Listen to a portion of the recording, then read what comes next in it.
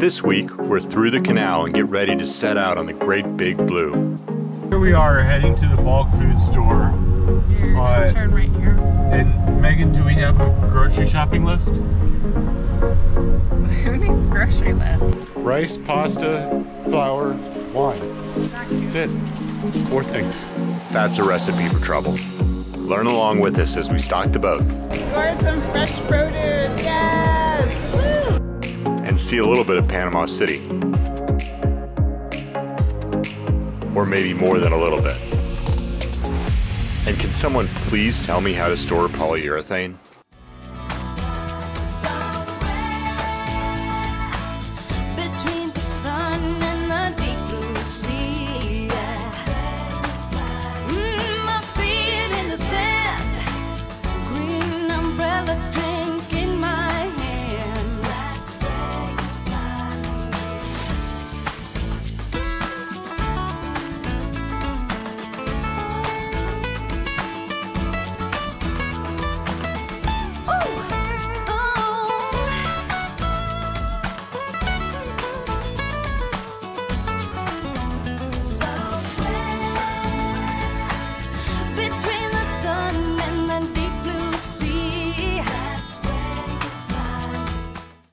Pacific Crossing provisioning about to start. Pacific Crossing, well, that's hard. That's a tongue twister. Pacific, Pacific Crossing provisioning about to start. Pro- Pacific, our Pacific Crossing provisioning is about to begin. yeah, try Nate saying and I that are heading out. fast. And we're leaving the kids unsupervised To do school. to do Very school and chores and screen time. and screen time and see hopefully how much chores we. No. when we come back the boat will still be floating It'll be floating.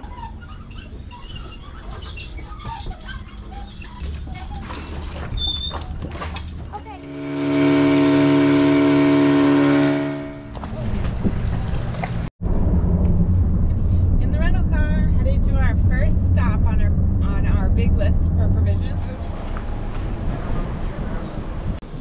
Diving in the Pacific, here you come. ready to go Not yet. trying to negotiate a good price on a package This stuff can get expensive. So we're on our way to the Costco equivalent, bulk food. Exactly what price we need. smart Price Mart here in Panama City. Volume. Because we are heading out on at least 30 days at sea, and then we'll be in French Polynesia where there's not good provisioning At least this side of Tahiti. We should Sorry. leave well stocked, clearly. until New Zealand. And, uh, Turn right here. And Megan, do we have a grocery shopping list? Who needs grocery list? Wait, Did we just leave the list in the boat like you forgot it?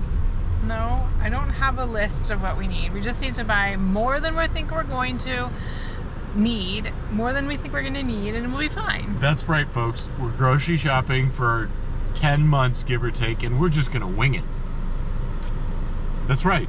You, you think, oh, how does this happen? Like, how would you possibly go about it? You just wing it. You just go down and you bid big bags of rice and flour in Here's a cart, the and that's it. problem. If I put together a detailed shopping list, 50% of what I put on there, they won't have. Oh, I blame the won't be- store. I won't be able to get it. So I'm gonna go in here at least on our first run through and see what they have. Then we'll take it home, back to the boat, and do a diagnostic of how much room do we You still telling me we're gonna have. have a list tomorrow? Uh-huh. We'll have a list tomorrow. no, won't. It's really hard. It is really hard, so we just don't try. Exactly. That's right. That's our motto. It's uh, hard, so we don't even try. Here we are. Not going the exit. Okay, yeah. That's still hard for me. Megan is a shopper and I'm not a shopper. Megan's way of shopping, she doesn't have a list. And so she'll just go down every aisle, down, down, down, down, down.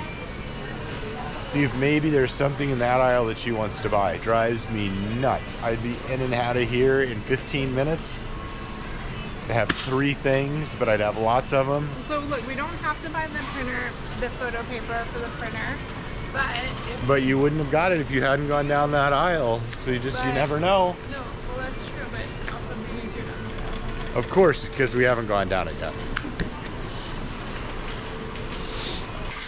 We're also in the, we're looking for a vacuum. Rice, pasta, flour, wine. Vacuum. That's it. Four things. Would get me all the way to New Zealand. Those four things.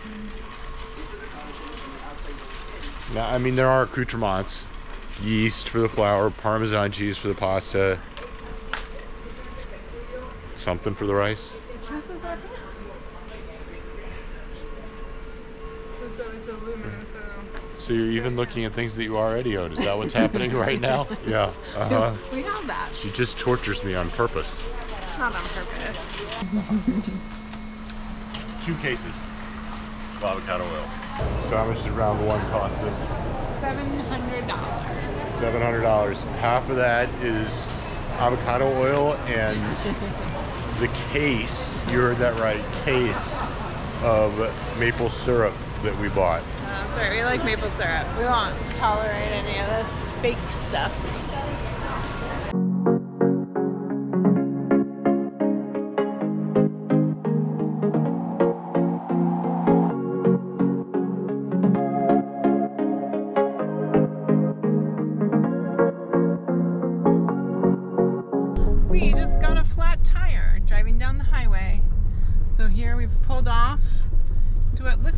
Actually a pretty scenic area, and we're gonna have to figure out what to do about the flat tire in our rental car. We're gonna fix it. That's what we do. We're cruisers. We fix things. We're gonna fix the flat tire. I'm, I'm gonna change it. I'm gonna put a spare on. Do rental cars even come with spares?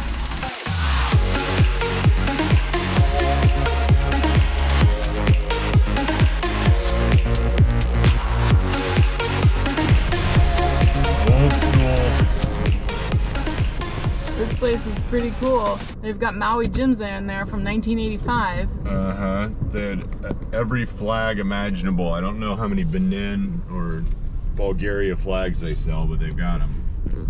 And they had drawer upon drawer upon drawer of charts.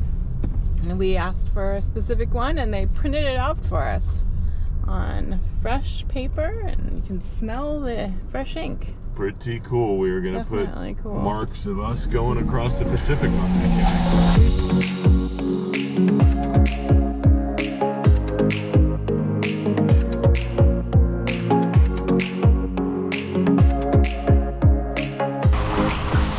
Round two. How much does this one cost? Day two, round two. Uh, we're gonna do round three later today. Uh, this one was 800 bucks. Wine one here. Yeah.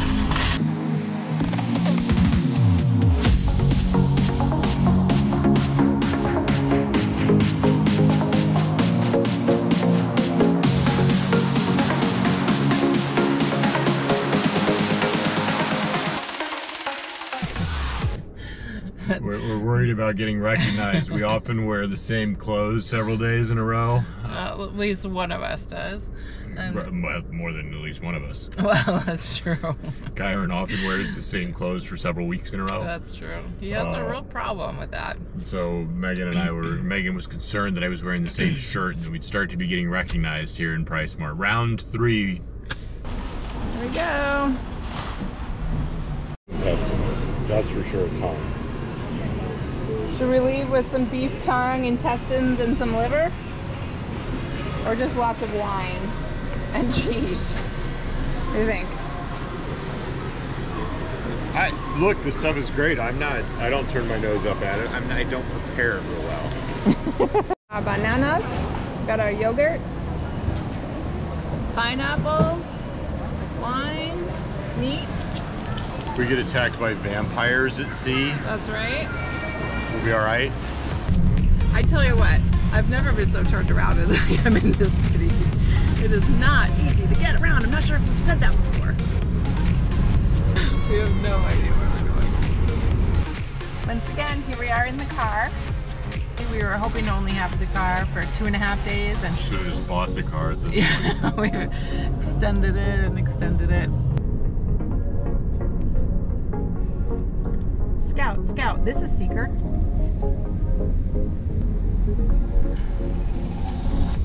This is Scott. Hey, Scout, how's it going? Good, how are you? Good. We're passing you on the causeway right now. Can you see us? Sure can. Okay.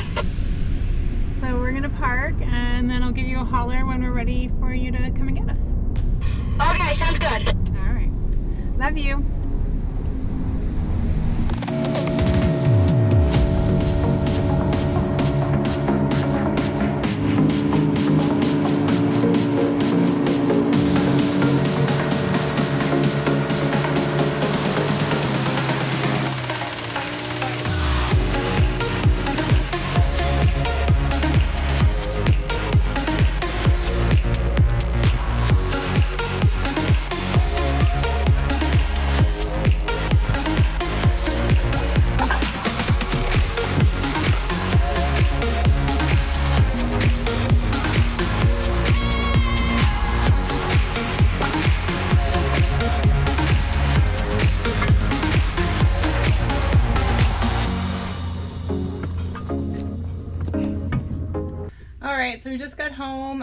With our 60 unrefrigerated eggs, and as is inevitable, some of them are broken.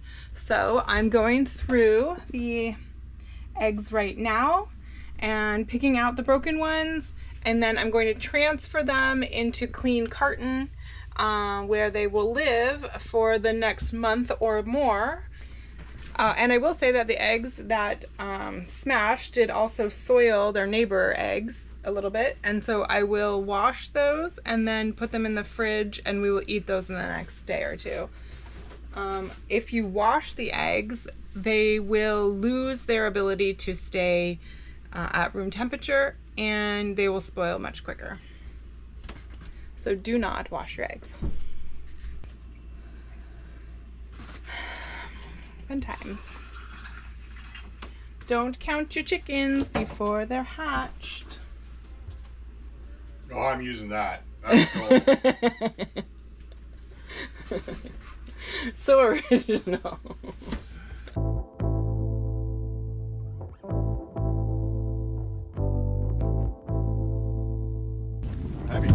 We're gonna go to the dinghy dock and we're gonna rent some electric scooters. Stepping on the hall like a pro. Oh, Never, it's never, never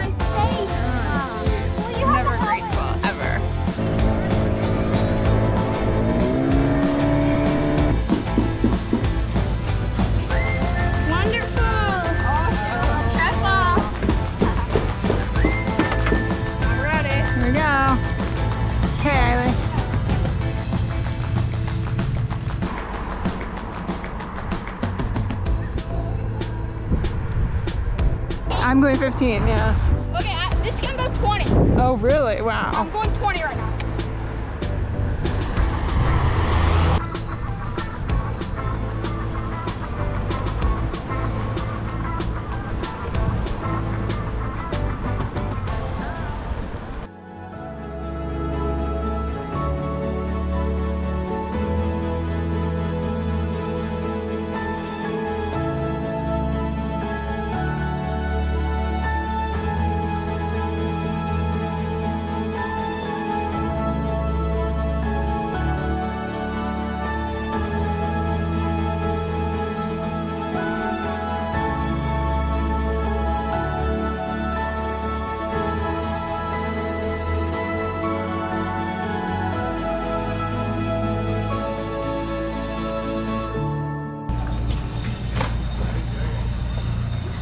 Sometimes it's not so easy getting to the dinghy. No way. I wanna watch this. Can she do it? Oops, sorry. Can. Yep, she can do it. Here, whoa, here comes dad. Back on Scout, there are a few small projects to tackle before setting off. Some are easy, like affixing Starlink so it's secure in its homemade holder and can swivel on its own. Or one last fuel run to replace what we use transiting the canal. Hey Nate, what are you doing? Displaying my love for my wife.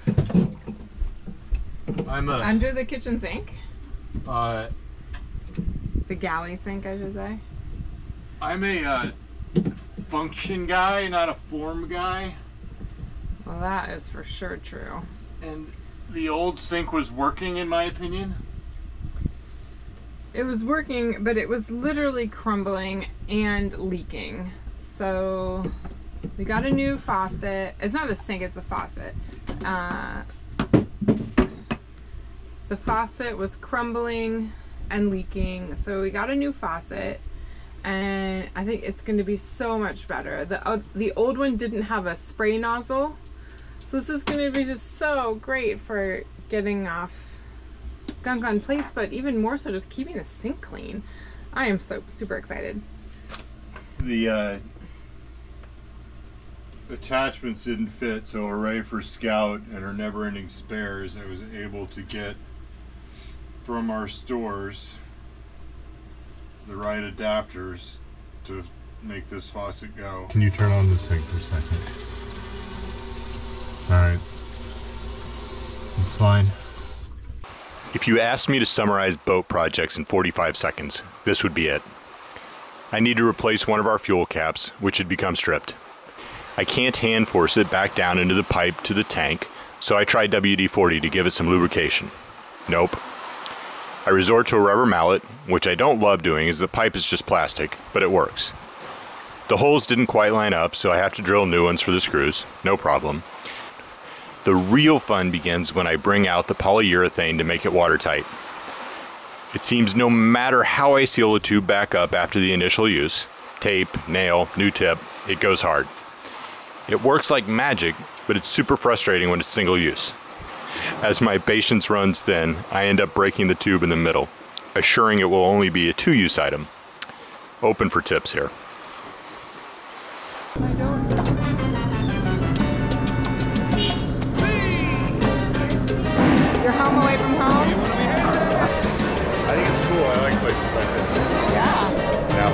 Her element.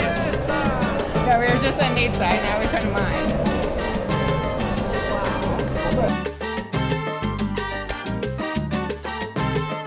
Bueno, mira, es un gran día en el barrio y todo el mundo sabe lo que está pasando. La barbacoa está encendida y la gente está gozando. Caja de cerveza y ron,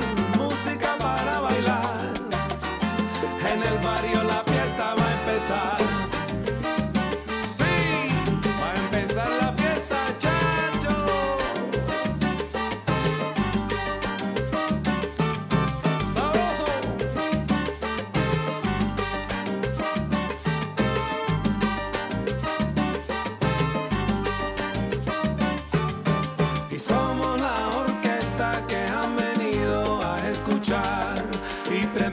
We porque la scored some fresh produce, yes!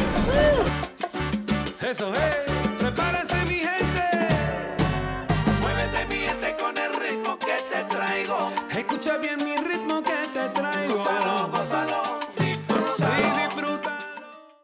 We just got back from the fruit and veggie market here in Panama City. We went to the San Felipe um, Nero, I'm not sure, um, the one that's in Old Town, and it was great. That was the most produce I have seen in a long time, and everything looked really, really fresh. We scored big today. I got a ton of citrus, as you can see, and what I'm going to do to preserve it for our journey across the Pacific is wash it really thoroughly, and then um, some of it I'll probably just freeze whole, but I'm gonna slice it or wedge it and put it in a Ziploc bag, a freezer bag, and um, freeze a lot of it.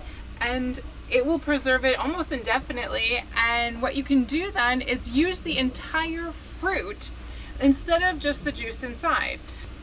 I have a ton of things to do. Uh, we are hoping to head out tomorrow and we wanted to wait to get our fresh produce until the very last minute, but that means that my day is really going to be packed with going to be really really busy with just preparing all of the fresh stuff um, so that it will last as long as possible. I have never done anything like this before this crazy long journey. Um, we're really truly going to be self-sufficient for 30 days at sea, away from land, no buddy boats, um, just Scout and her crew bobbing around on the ocean. I would love to know at least another boat that's going out there around the same time. But we're adventurers and we're going to be as safe as possible. We're going to, you know, do as much as we can to stay safe on the boat.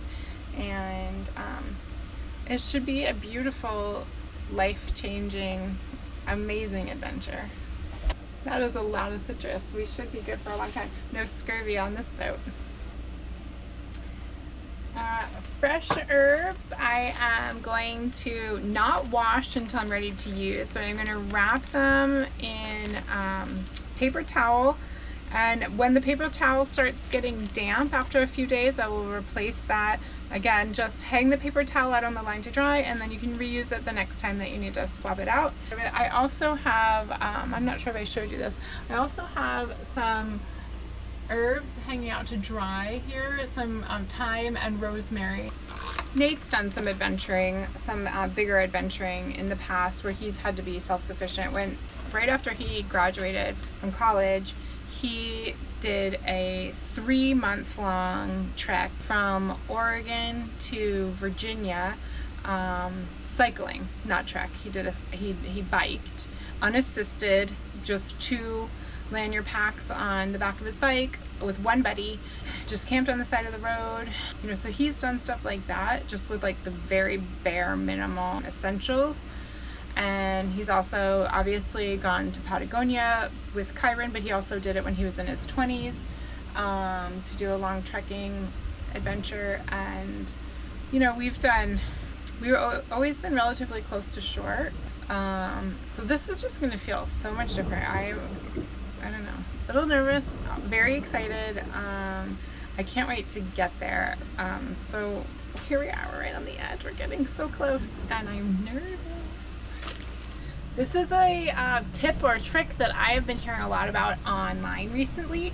I'm gonna give it a try. I have never tried it myself before, but supposedly aluminum foil is the trick for celery.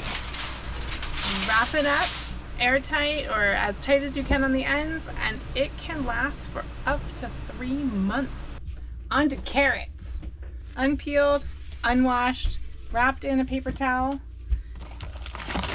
put into a Ziploc bag with its brothers and sisters. Cucumbers, same way as the carrots. I usually just keep my onions in a little basket on the shelf in my frit and my galley. They last amazingly long.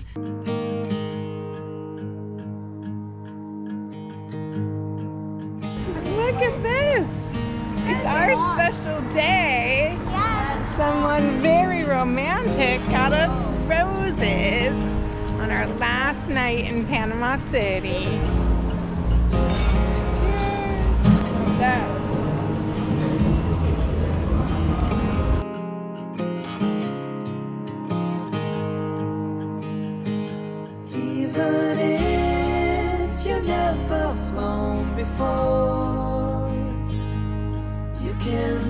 Take a chance and try once more. Don't let your worries weigh you down, down, down. You can still take flight. Although you're earthbound.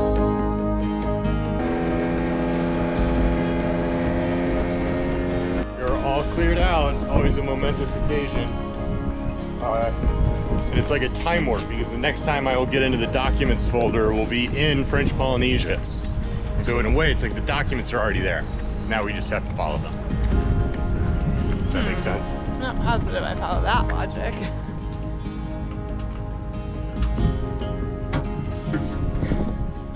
Getting a little nervous. Maybe more than a little.